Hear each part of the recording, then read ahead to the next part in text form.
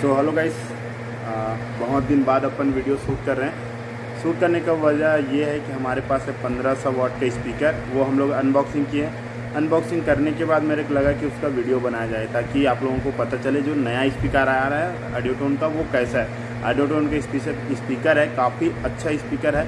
चलो मैं आप लोगों को दिखाता हूँ। फ़िलहाल मैं इसको अनबॉक्सिंग कर चुका हूँ। और मेरे पास लड़के नहीं है वीडियो शूट करने के लिए, इसलिए मैं खुद से वीडियो शूट कर रहा हूँ, ठीक है?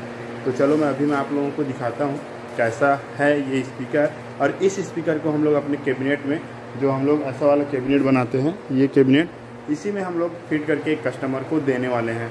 और हम लोग उसको कंप्लीट देने रहे हैं, टॉप और बेस एम्पलीफायर। तो हम लोग, वो बोले कि भैया हम लोगों को 1500 वाट का स्पीकर चाहिए ऐसा करके तो उनके लिए हम लोग ये सिस्टम जो है रेडी कर रहे हैं। तो उसका साउंड चेक भी आप लोगों को बताएँगे, दिखाएँगे वीडियो में, ठीक है?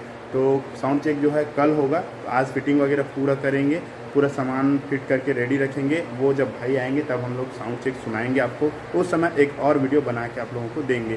फ़िलहाल हम फिटिंग का भी एक वीडियो बनाएँगे। तो चलो मैं आप लोगों को स्पीकर दिखाता हूँ, कैसा है स्पीकर ठीक है? तो मैंने अभी खोल के रखा था। और यहाँ पर और भी है। ये देखो, ये स्पीकर और रखा हुआ है।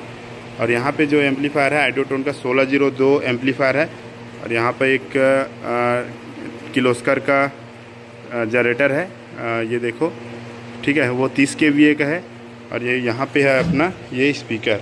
तो चलो अभी ओपन करते हैं। एक मिनट पहले लाइट वगैरह चालू कर लेते हैं। ठीक है। तो ये है स्पीकर। वहाँ पे ये था और उसको अनबॉक्सिंग नहीं कर रहा हूँ मैं, क्योंकि वो हम लोग अनबॉक्सिंग कर चुके हैं, ठीक है। तो ये स्पीकर है, इसको अभी मैं खोलता हूँ, उसके बाद आप लोगों को दिखाता हूँ।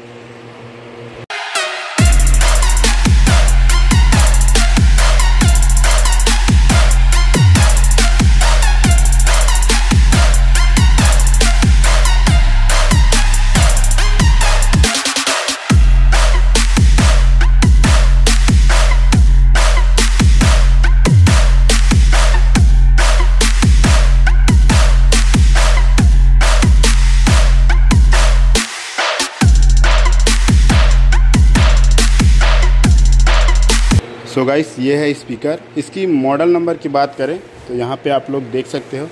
ये है आइडियोटोन की ओर से ए डी अट्ठारह टी बी डब्ल्यू हंड्रेड यहाँ पर आइडियोटोन का मेंशन और यहाँ पे है पावर आर एम एस पंद्रह सौ वॉट इम्पीडेंस जो है एट ओम्स और ये जो स्पीकर ओरिजिनल स्पीकर है चेचिस आप लोग देख सकते हैं। चेचिस का जो डिज़ाइन है गोल्डन कलर का डिज़ाइन है, काफ़ी यूनिक लग रहा है। बात करें इसके टर्मिनल तो टर्मिनल यहाँ पे पुश वाले हैं। इसको पुश करके आप इसमें अपना जो वायर है, अपने एम्पलीफायर का वायर है, वो इसमें इंसर्ट कर सकते हैं। यहाँ पे ओरिजिनल के लिए ये देखो बार कोड भी दिया गया है, जिसे आप स्कैन करके ओरिजिनल का पहचान कर सकते हो।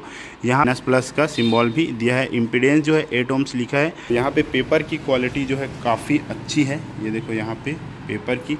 अभी इसको हम लोग पलटते हैं, पलट के आप लोगों को दिखाता हूँ कि कैसा है। ठीक है? इसकी स्पाइडर की बात करें तो स्पाइडर पे भी आइडोटोन ने अपडेट किया है। ये देखो तो यहाँ पे आप लोगों को स्पेशल रेड कलर वाला स्पाइडर मिल जाता है। और ये जो है सिलिकॉन स्पाइडर है डबल स्पाइडर इसमें लगा हुआ है। ये देखो तो ये है। और अभी हम लोग आपको दिखाएँ तो यहाँ पे ये देखो आइडोटोन की ब्रांडिंग जो है गैस किड में भी किया गया है। ये देखो, यहाँ पे।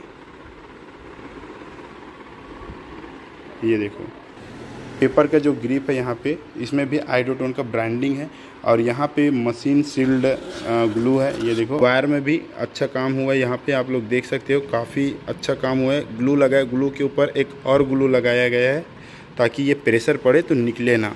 और ये जो टी बी डब्ल्यू हंड्रेड है, वो पंच के लिए काफ़ी फ़ेमस है।